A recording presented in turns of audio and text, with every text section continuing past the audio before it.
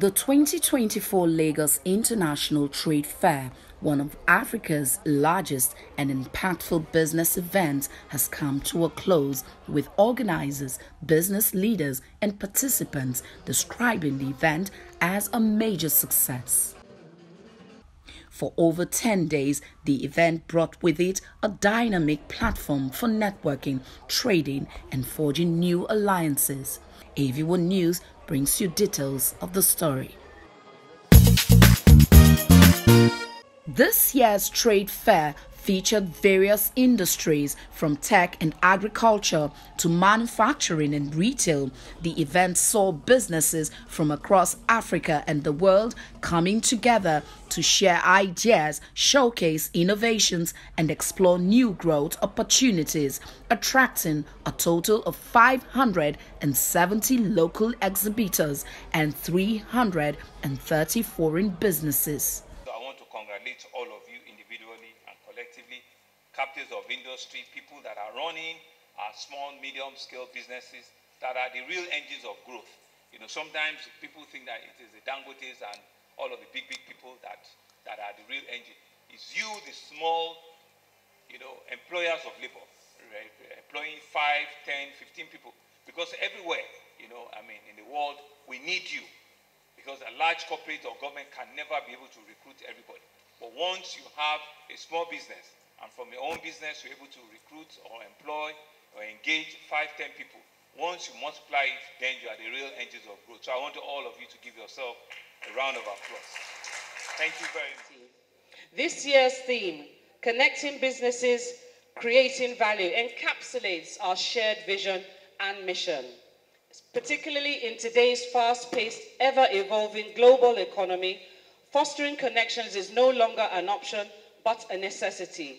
It is these connections that drive innovation, spur economic growth, and inspire businesses to explore uncharted territories. The Lagos State Governor Babajide Sanwo-Olu joined other prominent leaders in applauding the Lagos Chamber of Commerce and Industry for organizing an event that has been pivotal in driving economic growth. He emphasized the fair's importance in connecting businesses, fostering innovation, and creating lasting value. Governor Sanwo-Olu also highlighted the incredible potential of Lagos, a city of over 20 million people, rapidly evolving into a global megacity and a major business hub on the African continent. This platform has consistently brought businesses together where ideas converge and economic aspiration truly, really come to life. And so this year's theme, which I'm sure you've all explored, connecting businesses, creating value, which sign aligns perfectly with what the Honorable Commissioner had said, with what our government's vision, you know, is to foster partnership, real, genuine partnership, to drive innovation, think out of the box, to be able to know that even with a local market, you know, you can think but act globally know that you're serving a local, but you have opportunity to also serve a global market. You know, and build environment where businesses of all sizes can thrive.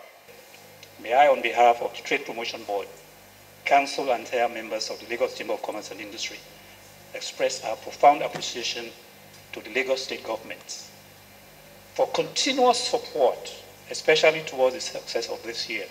But more important, in the history of, of Lagos International Trade Fair for 38 years, our current governor has not missed one since he became the governor of Lagos. Not even one. All through COVID, all the COVID years, our governor stood solidly behind us. And one year, he not only came for the ceremonies, he came as a participant to our trade fair. I was going around uh, the, the, fair. That's the kind of governor we have had in the last eight years.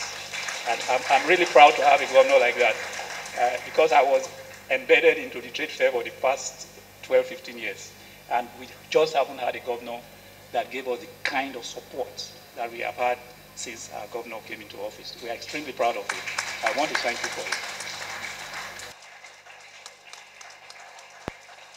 The exhibitor with the most magnificent booth in all five, and the winner is Indonesia Trade Promotion Center, Lagos.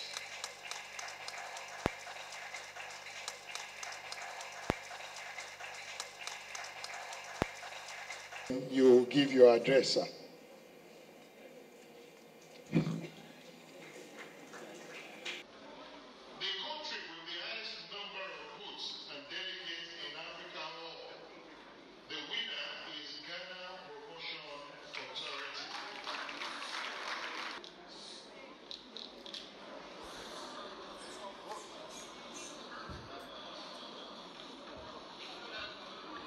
Well, it's been a tremendous event so far. All days has been so wonderful.